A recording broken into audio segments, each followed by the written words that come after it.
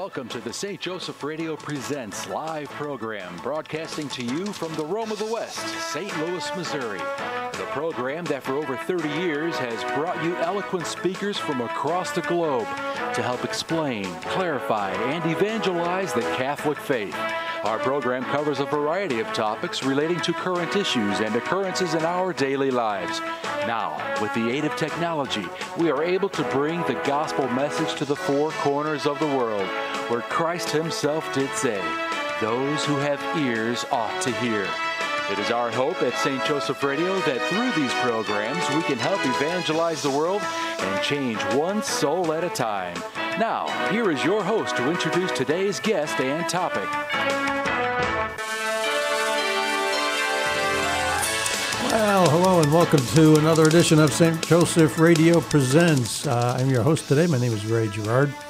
And uh, with me in studio today is Kathy Forck. She is the campaign director for 40 Days for Life down in Columbia, Missouri. Kathy, welcome to our program. Thank you. And thank you so much, Ray, for having me. Oh, well, thank you for being here. Um, and um, so we're going to be talking about uh, 40 Days for Life and all the good work that they do.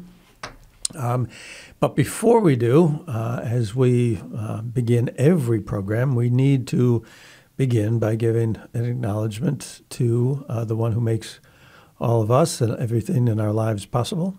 Uh, so we open with a little prayer, and Kathy has graciously consented to lead us uh, lead us in that. So, if you would please. Thank you. In the name of the Father, the Son, and the Holy Spirit, Amen. Heavenly Father, thank you for this beautiful day. Thank you for this beautiful opportunity to share about the wonderful works of 40 Days for Life and how babies are being saved, moms are being saved, and how the world is being touched by such a simple thing as 40 Days for Life, praying and fasting, and loving you and being you on the sidewalks all across America and different countries in the world. Holy Spirit, please be with us today as we talk about these these beautiful things and, and this issue that that is so so tearing our world apart. Abortion, losing babies, babies that you have deigned to live in this world.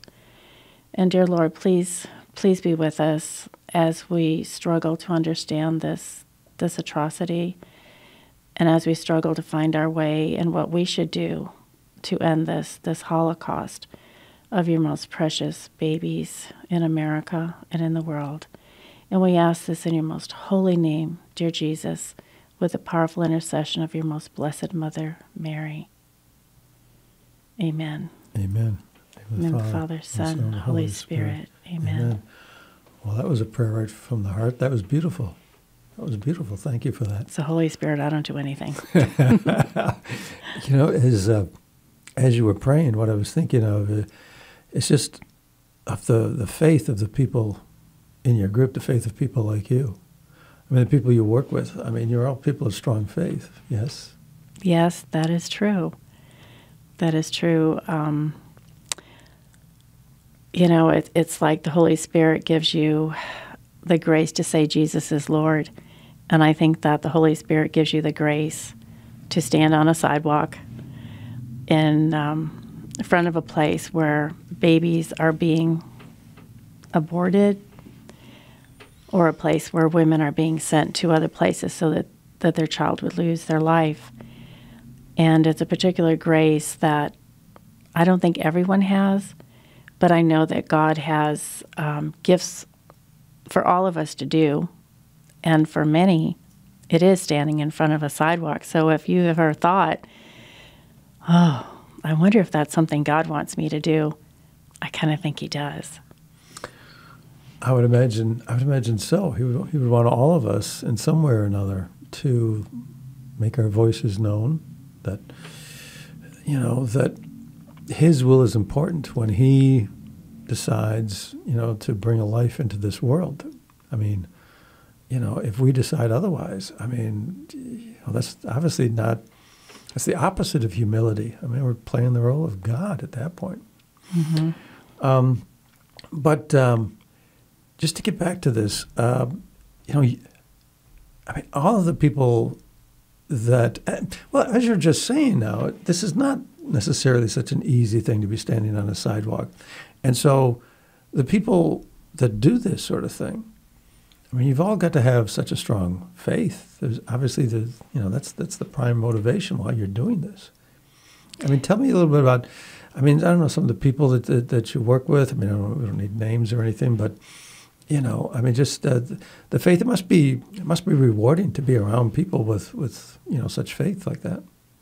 Well, as as my dear friend Judy Back says, you meet the most wonderful people on the sidewalk. And I just remember back in 2009 when my husband and I first started going there, it was because of a prompting that I had.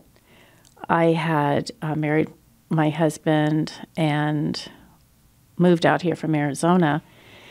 And I was thinking, like, wow, God, you must have something for me to do. What is it? You know, I'm praying. And I thought maybe he wanted me to have, um, to start Eucharistic adoration at our parish there, St. Andrew's in Holt Summit. And abortion came to mind. And I'm like, abortion? And so, you know, I pondered that. And when Mike came home from work, I said, Do they have any abortion facilities around here? And he said, Yeah, in Columbia. I said, Can you show me? And so he took me there, and I, I looked at this ugly building, and I, I just could sense, you know, the death that was happening in there because at that time they were aborting about 800 babies every year in that building. And so you're talking like two a day?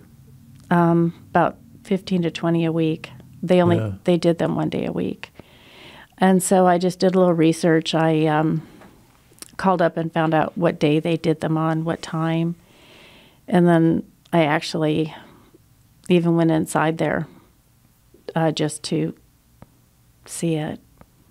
And the heartbreak in there was astounding. How'd you manage to get in? Well, at that time, I wasn't an activist. Mm-hmm. And so, I mean, anybody can go into a Planned Parenthood. Mm-hmm. So I gathered up my courage and walked in there and just sat down and just observed what was going on. And in that, I remember I left right at the hour of mercy, three o'clock. Um, so I was in there about an hour, and I just, you know, they asked me what I wanted, and I said, I'm waiting for someone. I was. I was waiting for Jesus to tell me what to do. And I, I just remember this one girl came in, and she was from the college. She had on um, high heel boots and, you know, was just dressed really nicely. You could tell she had money in her boots. You know, they clap, clap, clap on the on the floor. And she went up there and she said, "I need the morning after pill." And then I go, "Oh, twenty-five dollars," and I'm just like, "Oh my goodness!" And then another lady came in from a a um, she had on her uniform from a local restaurant, and she said, "I need a pregnancy test." And so they said, uh, okay, that'll be, I think it was $20. And so she took her money out of her, her pocket and started counting out these dollars. It was her tip money. Mm. And I'm just thinking, like, oh, these people gave tips and they didn't know that it was going for this, you know, to Planned Parenthood. And then after a while, she did come out and her positive, her test was positive. And it was just about that time they'd asked me again, is your person coming yet? You know, they're like, can we help you? You know, you could tell they they wanted me out of there. I look, I'm sure I look very out of place. And um, so I left, and as I walked out, the the girl and her friend came out, the one who had the positive pregnancy test, and I just said, "Oh, I think I heard him say that that your test was positive." I said, "That's wonderful." She goes, "Yeah, that's wonderful." And I said, "Well, aren't you happy?" And she said, "Yeah, I'm real happy." and I'm just like, yeah. what can I do? Yeah. What can I do? I had no information to give her, and right across the street was a pregnancy center, but I didn't know. And so I just asked God, you know, what do you want me to do? And so then I I started coming on the days that they started doing abortions, and I would just walk up and down. And then another, I met this other um, woman and her son, and so then they started coming to pray with me too. And then Mike would come after he got off of work at three thirty. But I remember this one particular day. Um, my friend Joanne, she had come and she usually came like about noon and stayed till about one. And Mike didn't get there till three thirty, so you know I was there that time, and uh, it was about five o'clock, and I take it back. It was four o'clock, and Mike said, "Well, do you think we should go?" And I said, "Well, I don't know," because there were still women that were inside, and we were just praying. That's all we were doing is praying, and then all of a sudden, here came a group of uh, students from Mizzou with an with an older counselor, and they were bound for life, and they had the little red tape on their lips that said life, and so they said, you know, they said, "Oh, we're so glad to see you. Um, are you leaving?" And we said, "Well, not really." And they said, "Well, well, the Holy Spirit told us to come and stay from until six o'clock." And we said, "Well, I guess we're staying till six. And so, you know, they prayed, and and um, then it was six o'clock, and they said, "Well, we're going." I'm like, "Okay." And then I said, "Well, do you think we should go?" And Mike's like, "Yeah." So we start walking down the, the sidewalk, and then here come Carolyn and Tway that I didn't know, holding rosaries. And I said, "Oh, are you coming to pray here?" And they said, "Yeah, the Holy Spirit told us we should come and pray." and so they they thought they'd pray till seven. So we we stayed with them till seven. Well, I found out the abortions, the women started coming about one. Um, and then usually by seven they were over. So God gave me my hours. I was supposed to be there from one o'clock until seven or till it ended. And I remember one time we were there till almost midnight and it was Really? the middle of it was the middle of winter, it was November. Wow. And it was just Mike and I with this other man, Tim. And this one woman had gone in there, a young Mizzou student, and um, we had seen her boyfriend drop her off in this this claptrap of a car, you know, Sure. and he never came back. And she got dropped off at two o'clock. And so finally, well, they had off duty Columbia policemen that were security there. They opened up the door and said, We're closing. So she came out, and, and just the look in her eyes, like, oh, What am I going to do? Because she had no one to give her a ride home. And I said, Hey, my name is Kathy. This is my husband, Mike. And if you need a ride, we'd be happy to do that, or we will stay until you know your ride comes. So don't worry, because it's not the best neighborhood. It's like eleven o'clock at night, and all of a sudden, well, then the the policeman slammed the door behind her, and there she was, and all the workers came out and got in their cars and zoom, zoom, gone. This poor girl, how, how, Yeah. alone, how alone she must have felt. So she came walking over to me and she goes, What do you people do? and I said, We're just here to pray and we just want to help you. You know, if, the, if there's anything we can do for you, we just want to help you. And she said, I told him to stop. I told him I didn't want him to do it. Oh, really? And they they forced me. And Oh, I, my goodness. and there was a surgical abortion and she just collapsed into my arms crying hysterically. Oh, wow. and i'm just like i'm so sorry i'm so sorry i'm so sorry. And then a girl pulled up in a car and she said that's my ride i have to go. And i said okay. I said here's my name my phone number call me i want to help you. She said thank you. So she got in the car and i'll never forget as she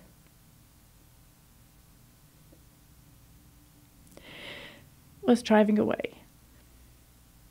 She put her hand up to the window like this, and I put my hand up like this. Oh, shit. Oh, jeez. And then she left, you Wow. know. Wow. But there have been so many beautiful stories of babies saved there. Like I remember this one girl came, she came like in an Uber, and um, she had gone inside, and we had given her a little model of a baby. You know, we have these little ten week old fetuses, and which is a beautiful Latin term for baby. And so we had given her the little baby, and uh, she came out and she said, I'm not going to do it. And she said, But you gave me one in a blue blanket. Do you have a pink one? Because I think I'm going to have a girl. and so she laughed. And, you know, there's so much, there are beautiful So you, stories sa- you, there. sa- you saved a baby that time. yes, God did. Yeah, exactly. Well, this is um, St. Joseph Radio Presents coming to you live from St. Louis, Missouri, uh, which we proudly proclaim as the Rome of the West. Uh, I'm your host, Ray Gerard. With me in studio today is Kathy Forck. She is the campaign director for 40 Days for Life down in uh, Columbia, Missouri, and we're so glad to have her with us today. We're talking about we're talking about life. We're talking about respecting life. We're talking about the great gift of life that comes from God, um, and the great work that, that Kathy and her colleagues are doing to help other people. I don't know, perhaps understand that. Perhaps, you know, think about about um, you know this this this gift from God that we all that we all we, we all hey everybody that's you know that's either talking right now myself or anybody that's listening. I mean, we've all received that gift, so it's a beautiful thing. Now, Kathy, um, so I don't know. Tell me about you. Uh, were you uh, you're Catholic? Were you born Catholic? Were you raised Catholic? Yes, I was. I, yes, yes, yes, I was. Cradle born Catholic through the grace of God. Uh-huh. Um, yes, okay. I have. I have um, nine siblings, Oh, really? so Oh, big family. large family. Oh, big family. Yes. Yeah. And where were you on the, the totem pole?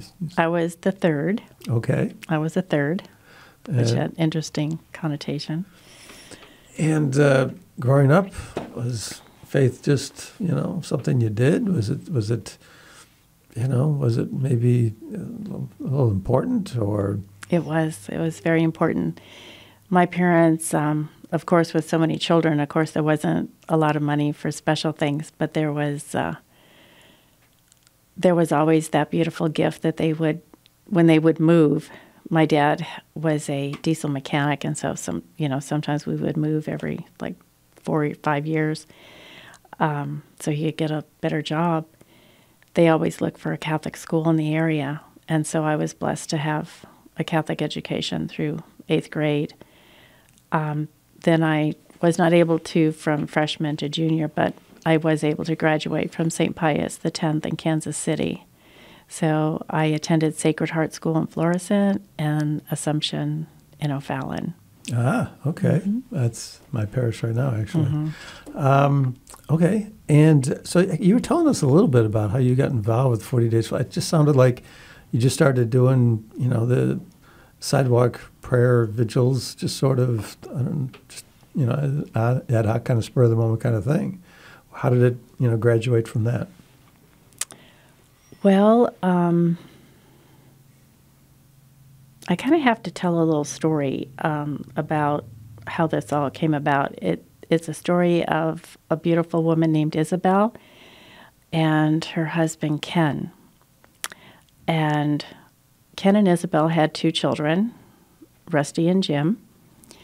And then Isabel found herself pregnant again, and she knew she was pregnant. She'd been that way, you know, a couple times before, but she was having a little spotting, and so she was a little concerned. And so she thought, well, it's time to go to the doctor for that first check. So she went to the doctor, and the doctor said, Isabel, you're not really pregnant. I'm going to remove some tissue. And she said, No, I am pregnant. And she left. And so she gave birth to a child in August of 49. And in that baby book, she wrote in, in there, we named her Kathleen because it means dear to my heart. Wow. And I still have that baby book. So, the doctor had told her he was just going to remove tissue, and she had the presence of mind to say mm-hmm. no. And a child, that tissue was then a child. That was me. That was you. okay, that's wow. Oh my goodness. Yes. Well, my mother passed away sadly when I was 39. And I had gone back to Arizona to visit my dad after I'd been doing the pro life work for a couple of years. And he said, Oh, your mom would be so proud of you.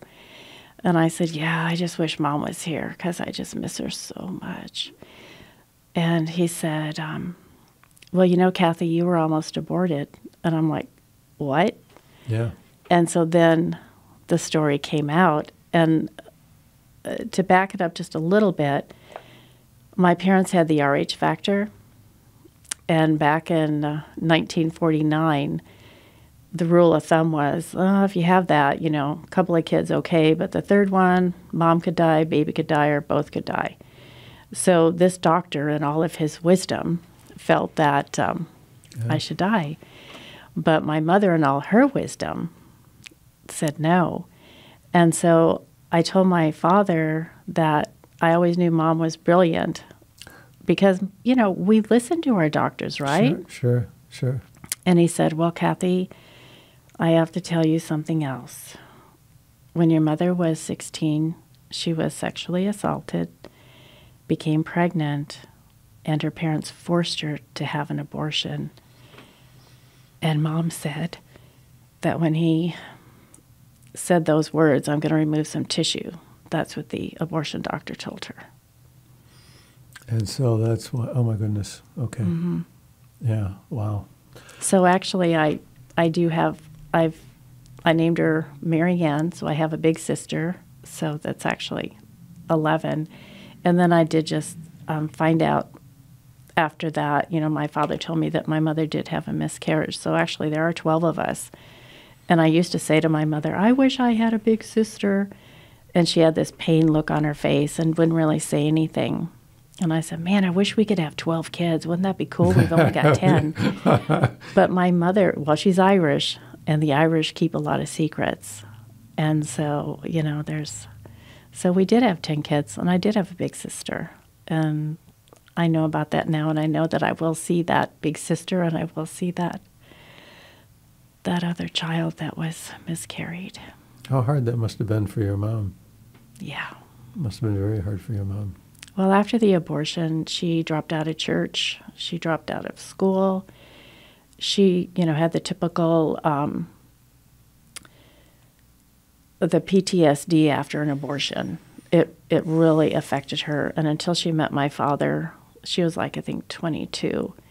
She really thought that she had um, no sense of worth. Sure. But my father and she both loved each other. My father didn't have a great childhood growing up either. He had a hard time. His mom died when he was um, about five or six. And so he had a hard life.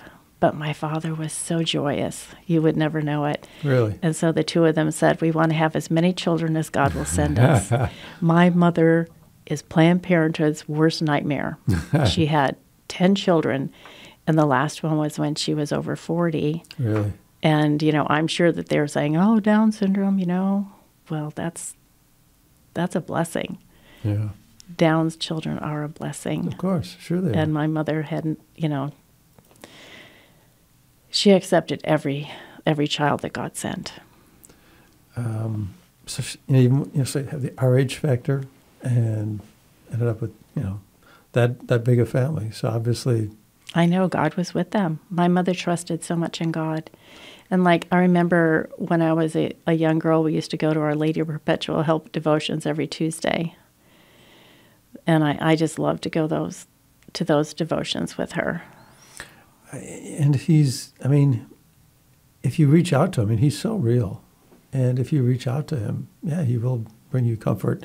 And, you know, just there, there's so many kids like the one you were telling me about, you know, at the, at the abortion clinic who came out, she didn't have a ride. And finally her ride came. She must have been f- feeling very alone. Oh, you yes. know, just you know, you're standing there saying, "Hey, we want to help you. We want to care for you. We want to do what we can for you."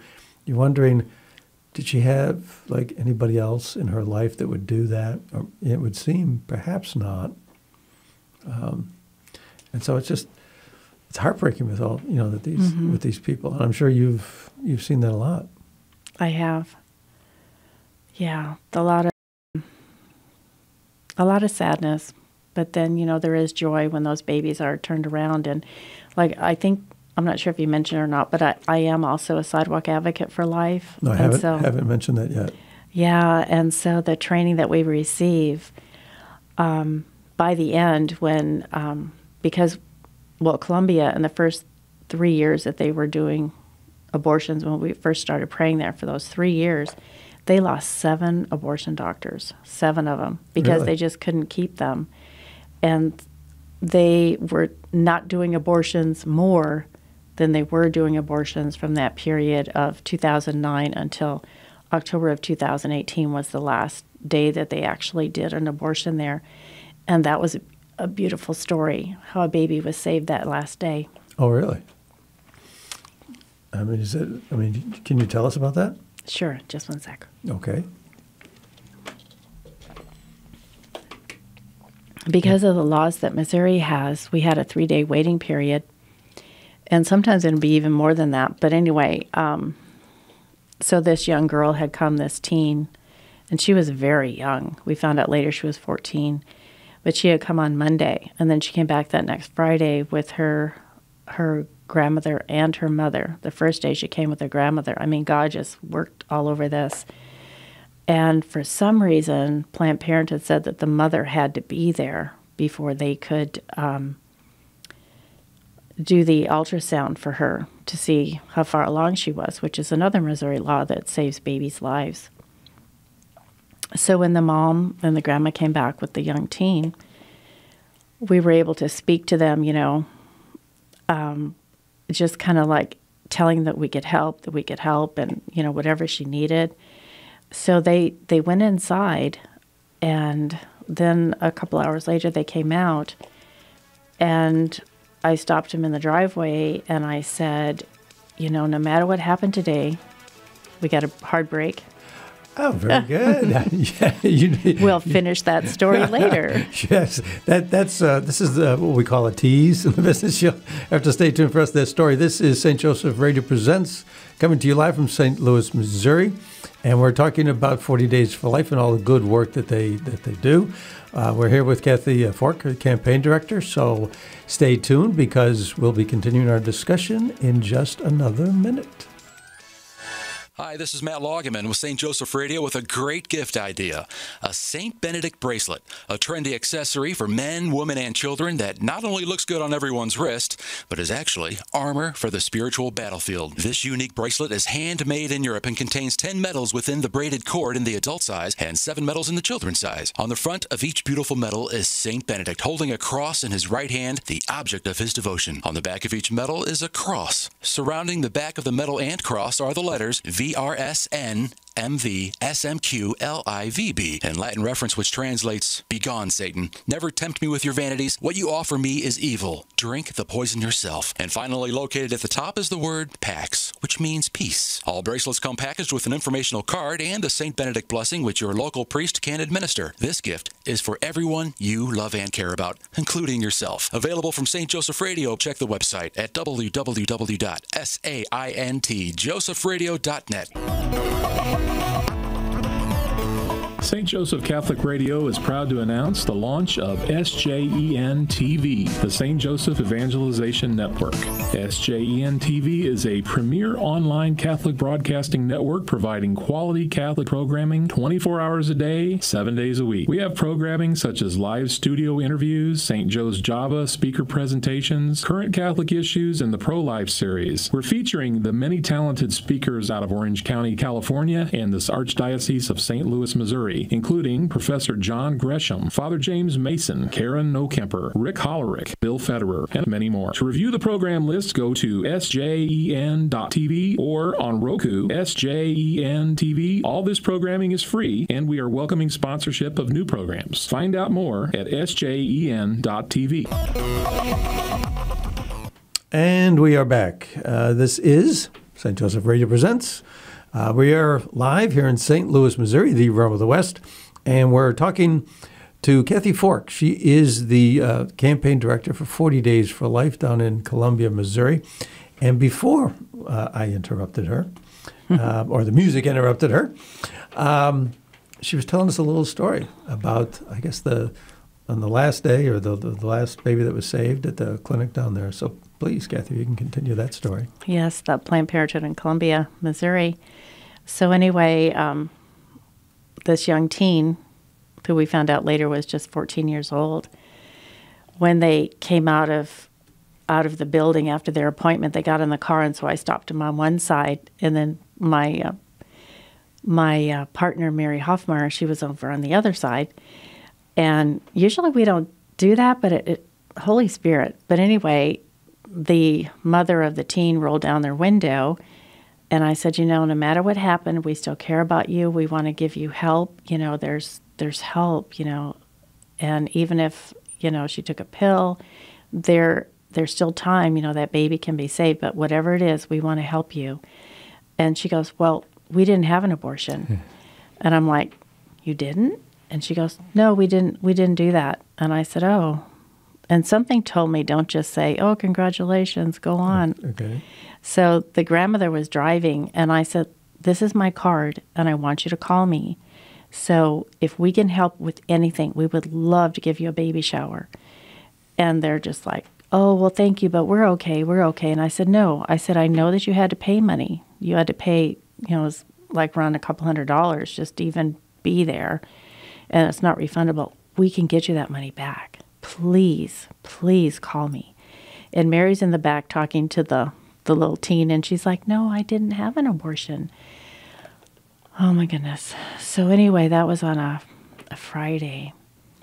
And so on Tuesday, I get a call in the afternoon, and this lady called and she said, Did you meet what you said that you would help us? and I said, Absolutely. I said, How can I help you? She said, Well, my granddaughter, she's she doesn't want to have the abortion and her mom is not sure. So can we talk to you? So Yeah. so we did. So I Yeah. met her with my other friend Bonnie Lee, and we talked. And they brought out the ultrasound. And I mean, you know, ultrasounds where you see the, the baby. This was like a blob. There was like a round thing. Well, we found out that they did that so they can measure how far along she was, and I believe that she was twenty four weeks, Oh, really? Oh, like wow. twenty three Wow. weeks Wow. and she had no idea she was that far along. Well, what they had done is they told her, "We can't do it here. We can't do that here in Missouri, but you can go to Hope Clinic across. You know, you can go to Hope. I hate to even say their name. Yeah. You can go to this other place." Right. And so they had given her a referral, and they said, and it's going to be, I think it was fifteen hundred dollars. And they said, well, we don't have that much. And they said, well, you were going to pay nine hundred today, so if you can't get the rest of the money, we have, I think it's called a just. Well, I don't even like to say that. Yeah, they have a league that will give money out. Okay. And so they said, we'll pay for the rest of it. But you have to be there. You have to be there. Well, the reason is because they were hitting the deadline in Illinois, too. Right. And so for some reason, God had them not go. And so when they called us, they missed that window. Okay. And so it was too late. They would have had to go to Colorado or something like that. Yeah. So we were able to help them. And so that baby was born. And um, every once in a while, they'll drive by and they'll pull into the parking lot and come over. And I remember the last time. It's been a it's been a couple of years, but the little girl was walking in the walking, Oh, wow. and you know you just you just think like, and she got out of the car, and she went like that, jumped out of the car, boom, So and it's kind of like Jump down. Yeah. Yep, here I am on your property Planned Parenthood. You didn't get me, you know. so Oh my goodness, that's uh, that's amazing. So she, they would still drive by sometimes. you- Yeah, they'll drive by when they see me. Even years later, yeah. yeah, Wow. and we talk every once in a while too, and you know we've helped them out with some other different things that they've needed. what a happy ending. Yes, but I wanted to. The point of this whole thing was with the sidewalk advocacy training that we take.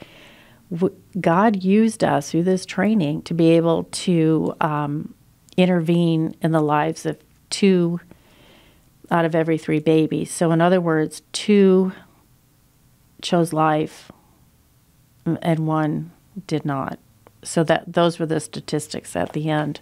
The two thirds of the babies were being saved because we were able to send them over to My Life Clinic, or else they just said no, we're not going to do it. And you know, if they were going to have an abortion, they had to come back to that place. And so we were always there on the abortion days. So our stats are pretty pretty um Those are pretty, pretty, true. Those yeah. are pretty amazing. Mm-hmm. Those stats are amazing. Yeah. But we have a lot of people out there praying, and, and the only signs we had are we care, we can help, and we'd only have two of those. And then Well, that- we that- had that- trained. that's a beautiful message. And that's, yeah, you don't you don't need to see, you know, you don't need to see anything about abortion. You know, even just saying prayed into abortion, when someone's going in there, they're like, well, they're praying to stop me from what I want to do. Right. All you need is we care, we can help, and, And I love the- And I love the message that you told earlier. Some person that they were driving out of the clinic, and you said, "It doesn't matter, you know, what may have already happened. We still want to help you. We Mm-hmm. And still want to. We still want to help you." we do. That's called support after abortion. Yeah. Yeah, there's a website for that, supportafterabortion.com. And actually, there are men. Men are being hurt so much by abortion, and they're having something. And if you go to the website, supportafterabortion.com, there's something um, that they just recently started for men, and it's on Tuesdays. It's a Zoom call. You just uh, click on it, you get into the, the room. You don't have to say your name or anything, or you can call in, totally anonymous. And men are helping men deal with this because men are hurting from this. And where did you say this is, uh, or what might they look for to try to find this? Well, it's called supportafterabortion.com. Okay, And then you just look under there like men's resources. You know, Uh-huh, you'll sure, find it. sure, sure. And there's like a little code. And you know how you put that in the phone and then it pops up. yeah, yeah, yeah, yeah. guys the know all this stuff. verification thing. Yeah, yeah. yeah these these guys know that but there's so much help like with the support after abortion um, my daughter ivy she actually works for them. Uh, Oh, she's does the executive assistant to lisa rowe. And so um, she does a lot with healing and like when roe v. Wade was overturned she said they had so many calls from women calling and saying I thought it was legal. What have I done? And so it has really awakened a sense of horror in these women who were able to tell themselves, well, it was legal, it was legal, and now they're having to deal with it, which is is a good thing because they need healing from this. And Jesus can forgive any sin, but they need to get healing and with support after abortion, it's it's not religious, you, they meet you where you're at. Because most women, they don't want to talk about God after that. So they meet them where they're at. They can just call up and talk to a counselor and they refer them to people. Yeah, I would imagine so. That you, well, okay, that you don't want to talk about God. Sure, I'd imagine so. I know can my mother that. turned her back on That's- God. I was just going to say. Mm-hmm. Yeah, I mean, there's, this, I guess there's a tendency to, to do that. I guess that's one of the, the problems with abortion, right? Is that it'll turn people away, Mm-hmm. you know, from their creator. Well, the devil uses that. He's the accuser. Exactly. You did something wrong. You know, right? I mean, we can see it. We can see the women when they were going in there. The devil was like, "You need to do this. You know, you've got to finish school. You have two kids. You need to do this." And when they come out, they're so beaten. They're Sure, so beaten sure. because then he's telling them, "You could have had some help. You should have told your parents." You Sure, know, it's sure. the now devil. They're, now they're facing all of the what the ifs, hurt. the what ifs, and and the you know the second guessing of themselves and feeling bad about themselves, Mm-hmm. and so it's just yeah, and so it's just you know uh, just more bad, bad on top of bad on top of bad. It's just the you know the bad that keeps on giving, right? yes, unfortunately. Um, you know, as I uh, I happened to you know before we began this program, I, I told you that I happened to look up this uh, this little speech that Mother Teresa had given to the National Prayer Breakfast. She traveled here to the states, and she was at the National Prayer Breakfast in Washington D.C. in 1994, and you know she gave a, a little talk, and one of the things she said is that uh, I feel that the greatest destroyer of peace today is abortion, because it, it is a war against the child, the direct killing of the innocent child murdered by the mother herself. And if we accept that a mother can kill her own child, how can we tell other people not to kill one another? Um, you know, and then she goes on. How do we persuade a woman not to have an abortion? As always, we must pers- persuade her with love, and that's that's what you were doing. That's uh, that message. You know, I don't care. It doesn't matter to us as you're coming out of the clinic. We still love you. And um, you know what you're talking about is with these you know, people, men, uh, you know, the women, and the turmoil, the mental angst that they go through afterwards, they don't have peace. They don't know peace. You know, um, and then how long does that continue for them? Well, it continues until they actually are able to confess it, like, you know, go to confession or, you know, if, if they're not Catholic, get some other some other help, you know. Um, you know, like I said, they a lot of them don't want to talk about God, but when they start talking about it to other people, like you know this this particular men's group, you know that's on Tuesday afternoons at eleven o'clock central with on supportafterAbortion.com. Um, they just start talking, and then eventually God does does into the picture, and it's just like on the sidewalk, the um, sidewalk advocates for life. Our motto is mom, baby, God. That's the order of how you address these these women. You know, most people want to go in there and like, God, the baby. Oh yeah, mom, you're at the bottom. It's got to be the reverse. You know, it's just like in in the airplane when they say put your mask on first for the oxygen before you put it on your mm. child. Right. We have to get the mother in a safe place. We need to find out what she needs. We just we have to get her her trust. We have to show her our compassion. And then when she's comfortable with us and then we say, "Okay, what's going on?" and you know, what can we do to help you with this? Like I remember this one mother said, I have four children. I cannot even imagine the laundry going. I have to go to a laundromat. And this one sidewalk advocate said, Do you have hookups for a washer and dryer in your home or apartment, whatever it was? And she goes, Yeah. what if we bought you a washer and dryer? Beautiful. Would you keep this baby? Yeah. and so they got her a washer and a dryer, and there's Wow. a baby. Wow. You know, sometimes such the simplest thing. But Planned Parenthood is Yeah. that baby's well, disposable. Give us your money. Yeah. Um, you know, it's but it, it just strikes me that you know what you're dealing with, what you're talking about, is just love. This is what, this is what, you know, this is what I'm hearing today from what you're saying is, it starts with just love. You put the mother first. Well, yeah, because that's the person you're talking to. That's you, that you're having an interchange with another person, and that person that's in front of you, we love you. And that message, that human, uh, I mean, how can you not be doing God's will with that? Yeah. I mean, so it just it just seems so it just seems so beautiful, and it just seems so so natural. And why, you know, why is that hard to figure? Why is that so hard to figure out that that's that's how we should approach people? Um, but uh, and, and I guess they got to feel, I don't know, so. Um, you know, I think it'd be a two way thing, right? I mean, you're gonna you're gonna make that person feel better. There's somebody that cares. I don't even I don't know this person, but somebody cares. And then it's got to be making you feel better to give the love. Yes. It is a it is a good feeling to be able to help someone. Yeah, You know, that's how God made us. He made us to love. right. Yeah, and you know if you're if you're not, then you know, um, You're miserable. yeah, yeah. If you can't love, you're miserable. If you're, you know, closed minded and tight fisted, you know, with your money and everything, you're miserable.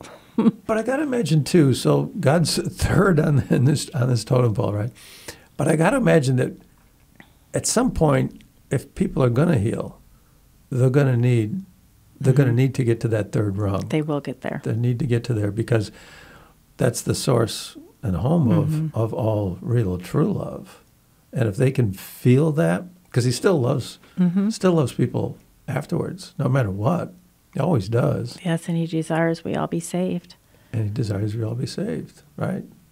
Um, so, uh, yeah. Uh, you- So, do you, um, you know, have? I mean, so you've dealt with people after as well. I mean, you've told us a little bit about, yeah, and that's got to be, you know, rewarding as well. Yes. So, tell me, uh, uh, you know, we we're actually going to. Uh, oh, I suppose I ought, I ought to just uh, do this right now, but. Um, I'm going to just remind everybody that you are listening to St. Joseph Radio Presents. Uh, we are coming to you from St. Louis, Missouri, the Rome of the West. Uh, this program is is uh, being aired live, and so um, if we if we mess up, it's because we are alive and haven't had a chance to fix anything.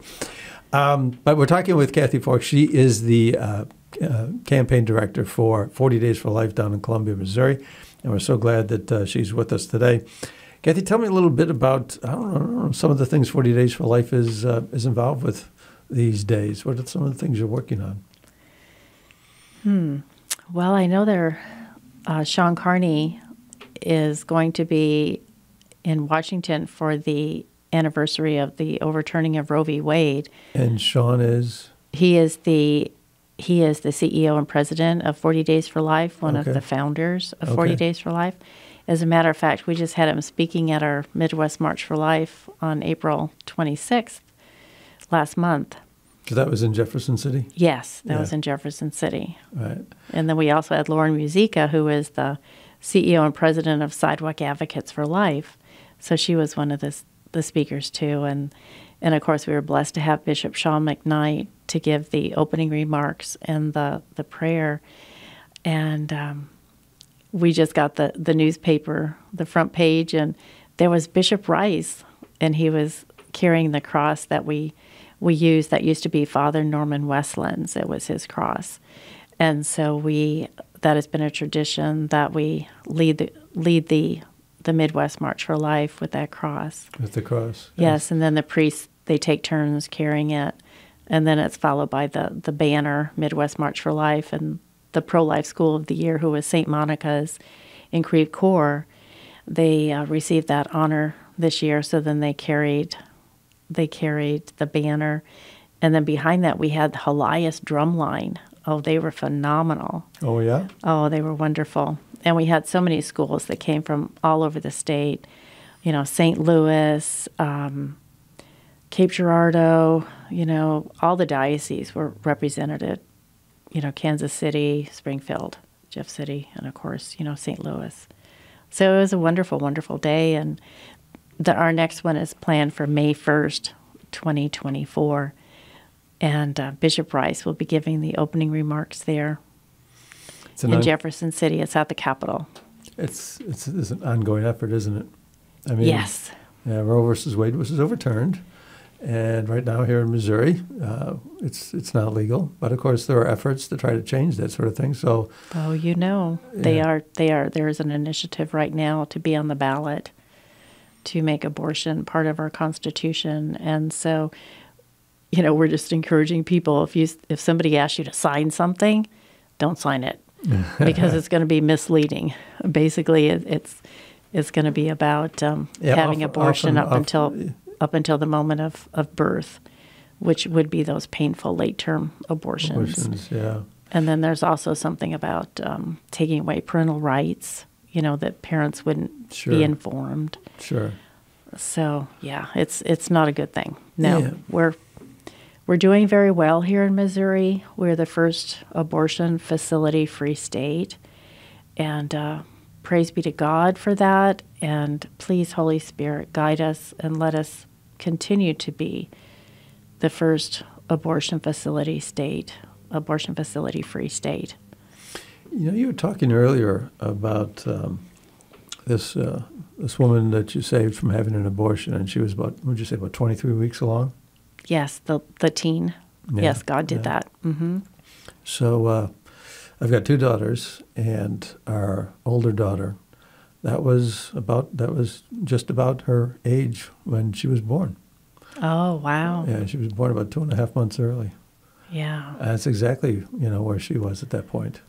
Ah, that little girl was so pregnant. Oh my goodness. We just couldn't believe it. You know, when we saw her walking in there, we're like, oh, Yeah, yeah, yeah. yeah. Um, so um, so you've been at this for how many years now? Started in 2009, like the first part of 2009. And then um, somehow one of my um, prayer partners found out about 40 Days for Life. And so we checked into it and I said, well, if you'll lead it, we'll come. and so I'm like, yeah, what else do I have to do? You know, okay. And I I remember uh, there was about a team of six of us, and we covered all 40 days, and we were there from seven in the morning until seven o'clock at night. Wait a minute, wait a minute, wait a minute. There was a team of six of you, Yes, and you covered 40 days? Mm-hmm.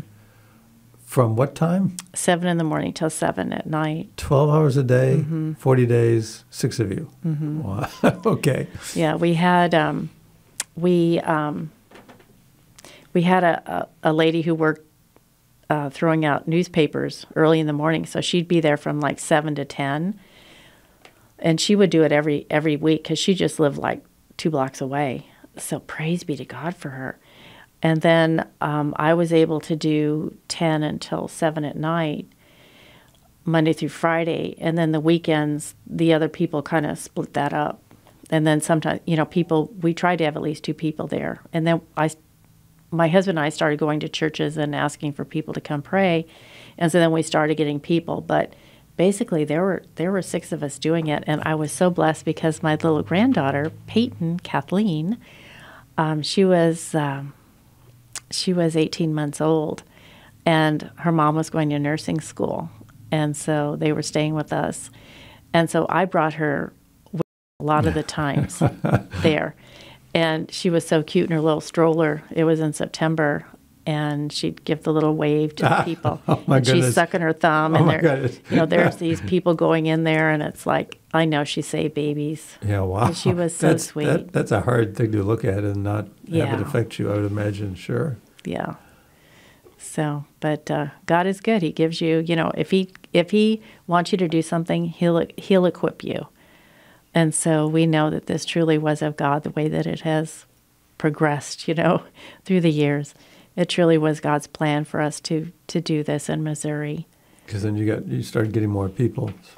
Yes, and and you know, in meditating on it, I I realized that God was not asking me to stand and pray in front of his tabernacle at St. Andrews.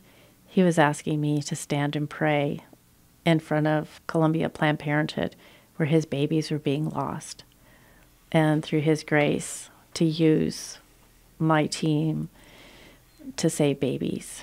Yeah, because I think you were telling me earlier that you were at one point you thought maybe he wanted you to get involved in promoting an, an an effort with Eucharistic adoration and getting more people to pray in front of the Because Mm-hmm. that's what. I wanted. I wanted to hang out at church all day. Yeah. Instead, you, you you said go out in the cold. Oh, yes. and the heat, and the snow, and the rain, and the thunderstorms. I would imagine. Yeah, I don't know how many hours you must have you by now you've spent outside you know clinic. yes, quite a few. I would imagine if you counted them up, there would be there would be quite a few. But we don't have time to do that because we're too busy doing God's work. yes. No. Well. Yeah. Yeah. Um, well, uh, this has uh, this has been this has been a real pleasure. Um, Thank you, Ray. Oh well, you, you've you know told us uh, you know some some beautiful stories. Uh, I want to really thank you you know for coming here and sharing this with us because it is all about uh, the joy of life, the joy that that God brings into this world with with every life that uh, that He gives, and uh, so this is uh, this has been St. Joseph Radio presents. We've been talking with Kathy Forck. She's uh, the uh, campaign director for 40 Days for Life down in Columbia, Missouri. And she's been telling us about oh some of the, the lives that she has actually saved. No, and, God did it all. And God did it all. I I keep you keep correcting me, and you are so correct in correcting me. So thank you for that.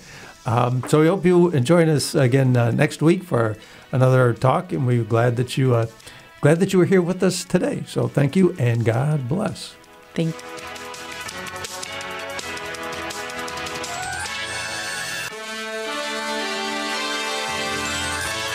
listening to St. Joseph Radio Presents from the Rome of the West, St. Louis, Missouri. If you would like to join us in our evangelization efforts, you can order a copy of today's broadcast or any of our past programs by visiting us on our website, stjosephradio.net. That's S A I N T, josephradio.net. Or call us 636 447 6000. It's all at your fingertips to help us evangelize the world, bringing the good news of Christ everyone you meet and change one soul at a time. Thank you for your prayers and support. Until next time, may God bless you and your family. This has been a presentation of St. Joseph Radio Presents.